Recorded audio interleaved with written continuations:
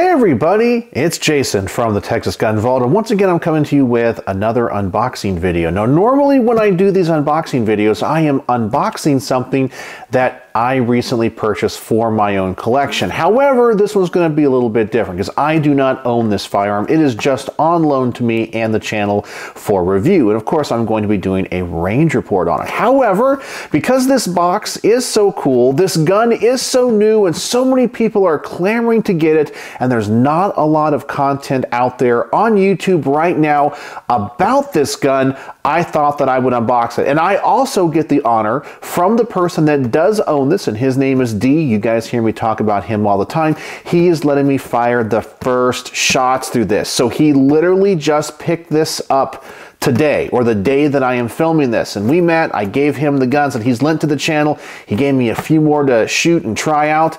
And this was one of them. He's like, I haven't shot it. I really haven't unboxed it. So I'm going to do an unboxing video for you guys. And we're going to see what this is all about. Now, this might not be a firearm that interests me a whole bunch. I would say on the scale from zero to 10, it probably interests me about a three or a four because it is a little pistol. And as time has gone on, anything chambered in a rifle caliber that's in a pistol configuration, especially if they're really tiny and really short, I don't enjoy as much as I think I used to a few years ago. But I know right now this is the hot thing to have. So let's go ahead and open it up and take a look at this box. You can already tell what it is.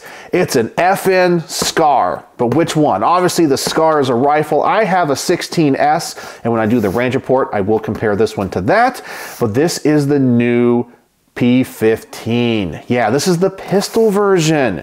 So I did notice on the box, by the way, it does say this was imported from Belgium, which kind of surprised me because all of the new SCAR 16s and 17s are made in the US to get around importation issues.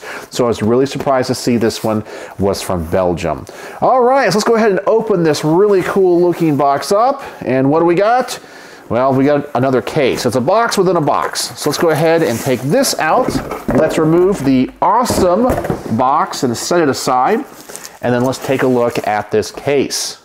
And I really think packaging can go a long way in showing how much a company cares about their product. Here we have an FN branded flat dark earth bag to go along with this pistol. Let's go ahead and open it up and it seems to be pretty darn good quality unzip this. Let's see what we have. All right, so here at the top we get our owner's manual, we get a registration card or something like that, and we have a little part here. Here's what that is. Oh, it's a charging handle. This one is bent. So maybe they give you a couple of different options. Looks like you get a little bit of swag as well. That's a cool sticker. I'd really like that.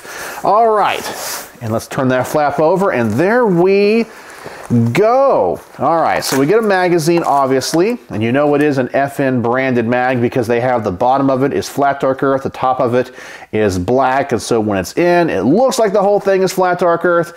Why don't they just paint the whole thing flat dark earth? I have no idea, but you know it's an authentic mag. It's heavy. I think it's aluminum. Yep, that's pretty nice.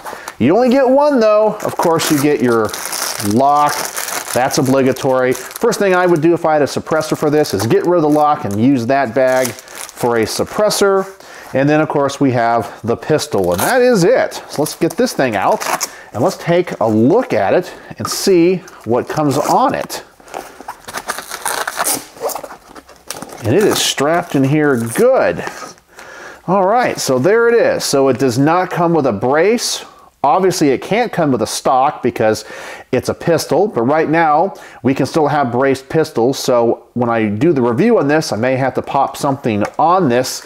That is a really, really short barrel. And one of the reasons I said I'm not really a big fan of these anymore is these can get really, really loud. Obviously, this thing is chambered in 556. And up here it says Belgium, and it's the SCAR 15P. I think I said P15 earlier, but yeah, it's the 15P. Here's the importation marks from Columbia, South Carolina, and FN USA.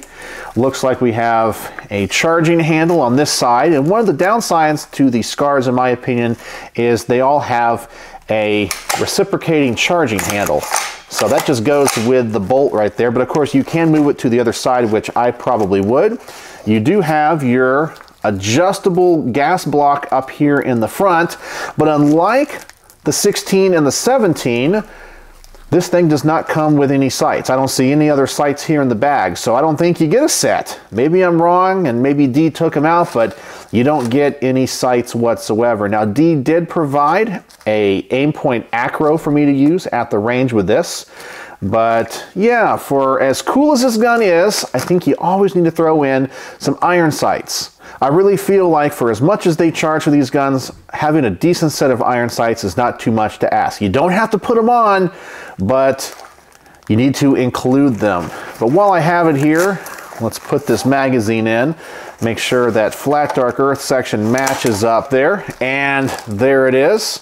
That looks really good. I always like the colors of these FN scars because they're all different shades of flat dark earth. So that is what we are working with. So I'm really excited to give this thing a chance. Right now, my excitement level is not too much, but I know a lot of you are really anxious to get your hands on one of these guns. So it looks like we have some Picatinny rail here in the back to mount the brace or stock if you SBR'd it. But besides that, it looks like a baby scar. Yeah, take a look at that. So there it is, the unboxing of the 15P by FN. It's a cool gun if you're looking for something that's this size, chambered in 5.56, and you don't really get much with it. One magazine, no iron sights, but I know a lot of people really want it right now. And of course, if you get it, you will deck it out the way that you want it to be. So there you go, an unboxing of the 15P pistol by FN. So let me know what you think, and I'll try to get the range report out on this one as soon as I can. So, as always, thanks for watching.